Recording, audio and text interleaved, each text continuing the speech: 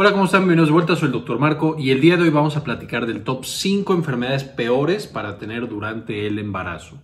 Y aquí cuando estoy hablando de peores infecciones, de peores enfermedades infecciosas, estoy hablando de infecciones que ya sean muy comunes y frecuentemente lleven a una complicación o eh, infecciones que sean muy severas y que puedan llevar a que fallezca la mamá o el producto, el bebé.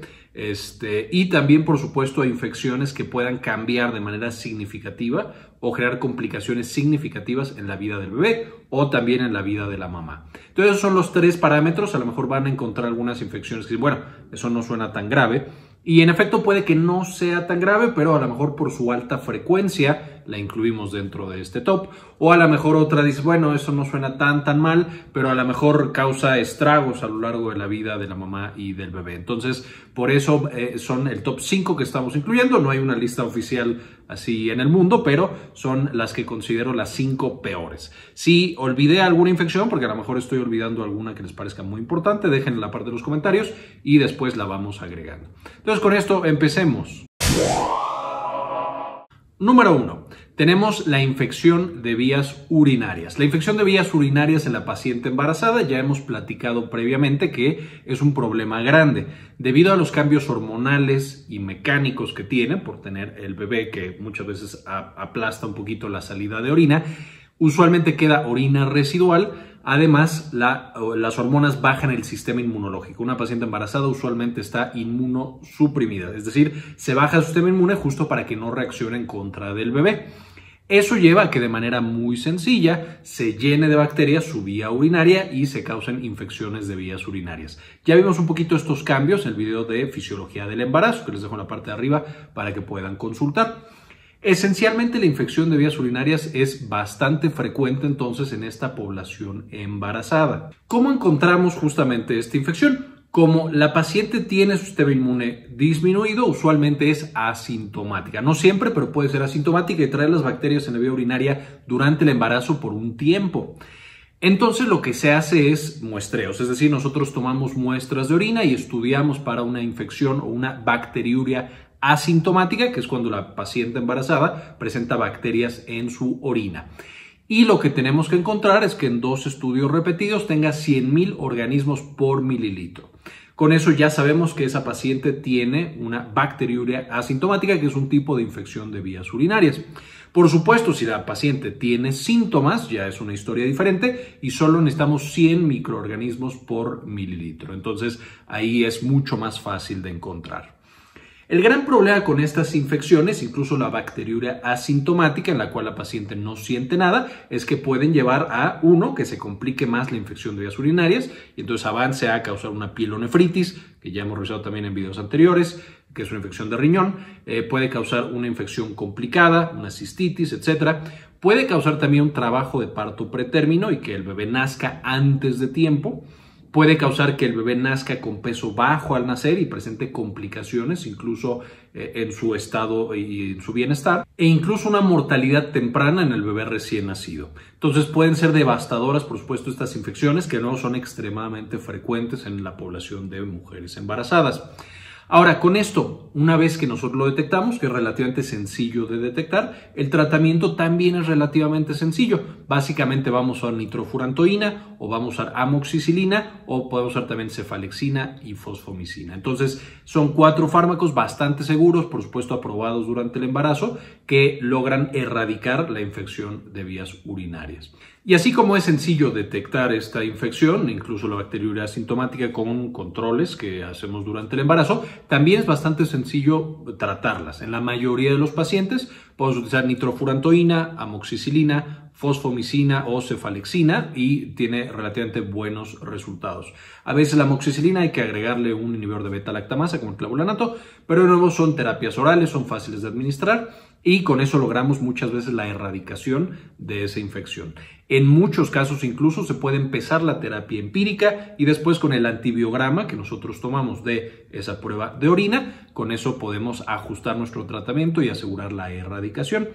Eh, entonces es una de las prioridades encontrar y detener este tipo de infecciones para, por supuesto, asegurar embarazos exitosos. En segundo lugar tenemos las infecciones conocidas como TORCH.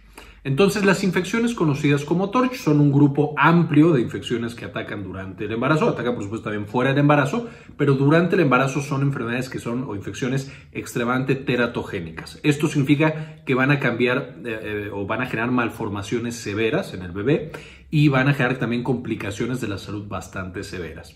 Y TORCH es un acrónimo, la T es de toxoplasma o es de otros, que voy a dejar al final. R es de rubeola, C es de citomegalovirus y H es de herpes simplex. Ahora, estas eran como las primeras que se encontraron, eh, entonces después agregaron la parte de otros. Y aquí encontramos cosas como sífilis congénita, encontramos cosas como parvovirus, la enfermedad de Lyme, etcétera, etcétera. Y seguramente conforme avance el tiempo seguiremos agregando más y más infecciones a esta categoría que conocemos como torch. Ahora, cuando una paciente se infecta o tiene alguno de estos eh, patologías como TORCH, eh, ya sea varicela, rubeola, toxoplasma, eh, parvovirus, etcétera, dependiendo en qué punto de su embarazo se infecte, van a ser las consecuencias. Una paciente que se infecta al inicio del embarazo, lo más probable es que pierda ese embarazo, tenga un aborto espontáneo debido a que se generan tantas malformaciones o una infección tan severa que desafortunadamente se pierde ese embarazo. Si lo perdemos un poquito más adelante, un poco eh, eh, cuando estamos en las primeras semanas, pero no justo, justo al principio, ahí puede generar eh, malformaciones severas también, pero que el embarazo continúe e incluso que el bebé nazca, por supuesto, con problemas muy serios en cuanto a malformaciones y a funcionamiento de su cuerpo. Y si se infecta la mamá al final del embarazo, podemos tener que el bebé tenga una infección congénita y pase muchos años batallando contra esa infección. Es por esto que la mejor estrategia contra las infecciones TORCH, por supuesto, es la prevención.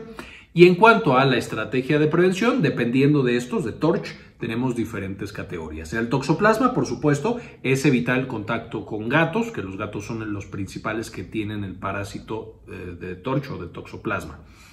Ahí, por supuesto, podemos argumentar que un gato que está muy bien cuidado, que está desparasitado, que ha recibido tratamiento y que tiene esquemas de vacunaciones y toda la prevención al día, no es un vector, no va a transmitir la infección.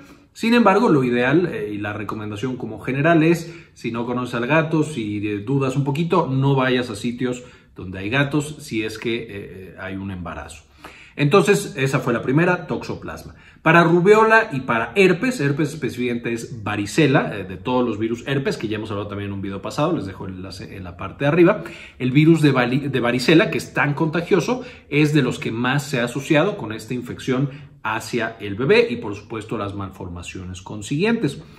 Y aquí el tema es rubeola y varicela, son dos infecciones que eh, tienen una vacuna disponible. Entonces, por supuesto, ahí la estrategia es vacunarse antes del embarazo. Y este también es un dato importante. Durante el embarazo tampoco podemos vacunarnos contra estas, están contraindicadas durante el embarazo la vacuna de la rubeola y la vacuna de la varicela, justamente porque pueden también generar este tipo de malformaciones.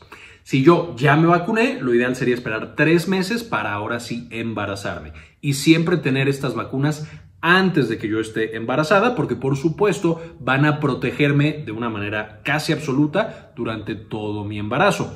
A diferencia de si yo primero me embarazo y luego me vacuno, el riesgo de que yo tenga estas dos, rubeola y varicela, va a ser mucho más elevado y entonces por supuesto el riesgo de pérdidas fetales o del bebé y por supuesto también de malformaciones severas va a estar ahí presente.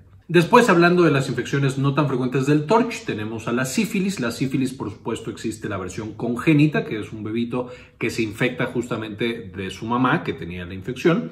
Esta sífilis congénita muchas veces llevaba a que el bebé quedara ciego y tuviera complicaciones severas neurológicas.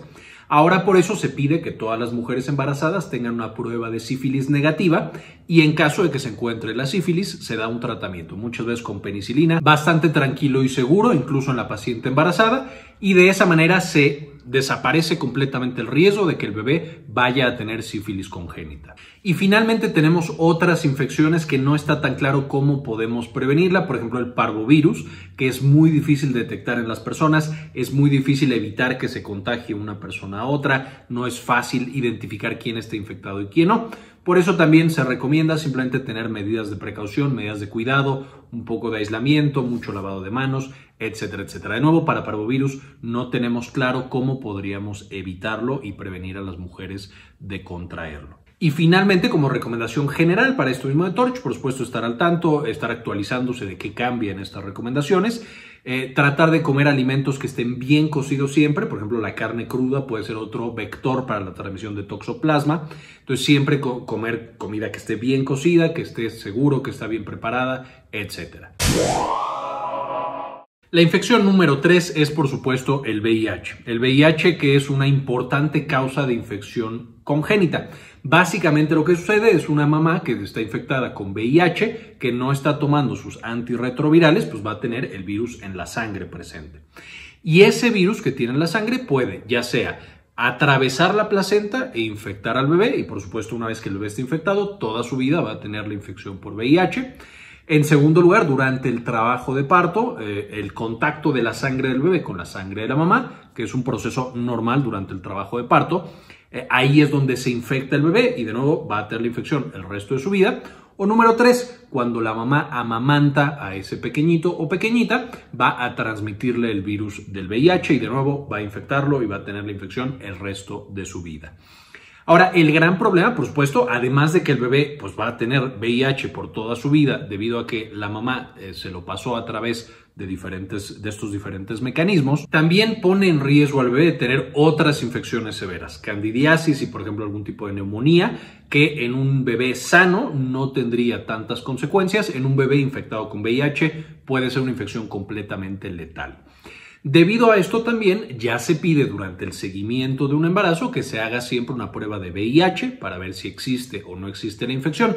Si sí existe la infección, entonces hacer las estrategias de minimización de riesgo en la transmisión justamente de la infección. Dentro de estas estrategias para prevención, algunas de las que se usan, y de nuevo ahí tendrán que preguntarle a su médico y que tener un seguimiento muy eh, estricto con el infectólogo que esté llevando el caso de VIH, pero básicamente lo que tenemos que hacer es dar algún tipo de antirretroviral. Dolutegravir es de los que más se recomienda en la actualidad y lo que usaba antes también mucho era la sidobudina. Y entonces esencialmente lo que haces es disminuir la cantidad de virus en la sangre, idealmente a indetectable. Y esto, por supuesto, evita que vaya a atravesar la placenta o que esté este contacto de sangre entre mamá y bebé durante el parto que transmita el... Em, que transmita la infección por este virus y finalmente durante la lactancia también hay que tener cuidados especiales. Finalmente, en algunos casos, especialmente cuando no se pudo dar el antirretroviral, es preferible no tener un trabajo de parto en el que existe más contacto, aunque de nuevo sí es posible tener un trabajo de parto, si se tienen el resto de las recomendaciones y un cuidado y un seguimiento estricto en este sentido. La infección número 4 es la corioamnioitis. Aquí importante mencionar, la corioamnioitis es justamente una infección del amnios o de las membranas coriales, que son parte de lo que agarra al bebé a la pared del útero. La corioamnioitis puede ser infecciosa o puede ser solamente inflamatoria, es decir, que se inflaman estos tejidos o que literalmente hay una bacteria en estos tejidos. Por supuesto, el tratamiento será diferente si es una infección o si solamente es una inflamación. Ahora, lo más frecuente en este tipo de infección es que haya una ruptura prematura de membranas. Es decir, cuando el bebé ya va a nacer, tienen que romperse la bolsita en la que está, que es justamente la placenta y todos los demás tejidos, y gracias a eso sale unas horas después. El problema es cuando la membrana se rompe a lo mejor semanas o incluso meses antes de que el bebé esté listo para salir. Cuando se rompe esa membrana, pues es mucho más fácil que las bacterias suban a través del canal vaginal e infecten toda la, toda ese tejido y por supuesto infecten también al bebé. Y una corioamnioitis puede complicarse bastante en una sepsis neonatal o en una neumonía neonatal, que ya vimos también, eh, les dejo el enlace en la parte de arriba. Eh, eh, y por supuesto acabar con la vida de ese bebé o también puede por supuesto causar una sepsis con la mamá y poner en peligro su vida también. Entonces es por supuesto muy importante detectarla justo cuando va empezando. Por supuesto, siempre que tenemos una ruptura ya tenemos el riesgo de corioamnioitis y de este tipo de infecciones intrauterinas. Y por supuesto vamos a encontrar que los datos son una paciente que tiene fiebre, más de 38 grados, estando embarazada y teniendo ese factor de riesgo. Vamos a tener que la mamá usualmente tiene leucocitosis, el bebé usualmente tiene taquicardia, que son más de 160 latidos por minuto. De nuevo, eh, esto es por supuesto latidos de bebé. Los latidos del bebé son mucho más frecuentes. Entonces, más de 160 por 10 minutos ya es una taquicardia. Y vamos a, por supuesto, a tener que estudiar también el líquido amniótico. Muchas veces vemos una muestra de líquido, si hay, primero si está fuera el líquido amniótico, es decir, si se está eh, no quiero decir regando, pero si se está saliendo el líquido amniótico cuando no debería salirse en ese punto del embarazo. Vamos a checar también eh, una tinción de Gram que nos muestra si hay alguna bacteria en ese líquido. Podemos hacer un cultivo. Ahí el problema con el cultivo, por supuesto, es que tarda días en aparecer el resultado de qué está creciendo y a qué es sensible esa bacteria. Y una coriamnionitis tiene que empezar a manejarse prácticamente de inmediato. Aquí es, por ejemplo, donde la terapia antimicrobiana empírica es muy importante eh, y por supuesto le puedo hacer más estudios, no tener todos los estudios también es un tema complicado y que después merecerá un video propio. ¿Cuál es el tratamiento cuando nosotros tenemos una corioamnionitis? Básicamente son antibióticos, por supuesto medidas de soporte, manejar la fiebre, ver que el paciente, la paciente tenga una adecuada eh, presión arterial, si es que ya está cayendo en sepsis, eh, etcétera, etcétera. Además de esas medidas de soporte es el tratamiento antibiótico y aquí tenemos principalmente la ampicilina y la gentamicina. En algunos casos puede usarse toda la penicilina G, eh, podemos usar la vancomicina, la clindamicina, incluso podemos usar las penicilinas así más poderosas como la ticarcilina con clavulanato eh, y la ampicilina con sulbactam, no, no tan poderosa, pero digamos también se puede usar porque tienen un amplio espectro y entonces de manera empírica le damos ese antibiótico para matar todas las bacterias que podamos, que la paciente no progrese y no vaya a fallecer, en lo que sale el antibiograma y ahora sí le mandamos un tratamiento específico para la infección eh, con la sensibilidad adecuada que va a tener. Esta infección no es tan frecuente, pero puede ser definitivamente letal tanto para la mamá como para el bebé. Infección número 5, a lo mejor esto es un poco hacer trampa, pero es específicamente las infecciones por bacterias o microorganismos resistentes. Y ya hemos hablado un poquito antes de este tema, pero básicamente cuando nosotros usamos un tratamiento antibiótico o también un, un medicamento antiviral, un tratamiento antiviral, por ejemplo, para VIH, Naturalmente, los virus y las bacterias, incluso los hongos, van desarrollando resistencia. Y entonces un medicamento que antes era muy bueno llega a un punto en el que ya no sirve debido a que ya no hay ese espectro de sensibilidad. Y lo estamos viendo ahorita con las infecciones de vías urinarias en mujeres embarazadas y Escherichia coli o E. coli, la principal causa de eh, tener una infección de vías urinarias. Y esencialmente lo que se ha encontrado es que casi 40% de todas las E. coli ya son resistentes a los mejores esquemas de antibióticos que tenemos. Esto, por supuesto, puede ser crítico, puede ser muy grave y, por supuesto, puede llegar un día en el que las mujeres embarazadas sigan teniendo infecciones de vías urinarias y cualquiera otra de las infecciones que estamos mencionando aquí y ya no respondan al tratamiento antimicrobiano. Que no haya nada que les podamos dar y, por supuesto, se pueden imaginar la gran cantidad de infecciones, de muertes y de complicaciones que vamos a tener ese día. Es por eso que es súper importante combatir la resistencia antimicrobiana. No tomar antibióticos si no los mandó el médico. Siempre tomar los antibióticos exactamente como me los mandó mi médico. Es decir, a la hora que me lo mandó, por los días que me lo mandó, todo tal cual que me lo mandó y después suspender. Y por supuesto también siempre tomar antibiótico acompañado de un antibiograma que diga esta bacteria es sensible a este antibiótico y esa es la que le sirve. ¿Por qué? Porque eso asegura que no estamos creando resistencia gratis y que sí estamos tratando la bacteria como debe de ser. Entonces siempre sacar un antibiograma cuando hablamos de bacterias que nos diga cuál es el antibiótico ideal. Por supuesto, ya platicamos, hay algunos casos en los cuales la terapia empírica puede ser importante, especialmente cuando es una urgencia y tenemos que tratar ya, pero incluso en esos momentos de urgencia, primero tomo la muestra, empiezo el antibiótico y eh, proceso la muestra para ese antibiograma. Extremadamente importante. Si no tenemos cuidado para combatir esta resistencia antimicrobiana, cada vez más estamos cerca de un día en el cual ya no tengamos antibióticos disponibles y por supuesto, como podemos ver, las mujeres embarazadas tengan problemas graves de salud durante muchos de sus embarazos. Entonces, extremadamente importante este último punto, prevenir las eh, infecciones resistentes a antimicrobiano. Y bien, esto fue todo por el video de hoy. Espero les gustara, espero le entendieran y aprendieran un poquito más de qué infecciones tenemos que ser muy cuidadosos para que no le dé a nuestras pacientes embarazadas. En este video quiero dedicárselo especialmente a algunas de las personas que nos donan mes con mes para poder hacer este tipo de trabajos y este tipo de investigaciones.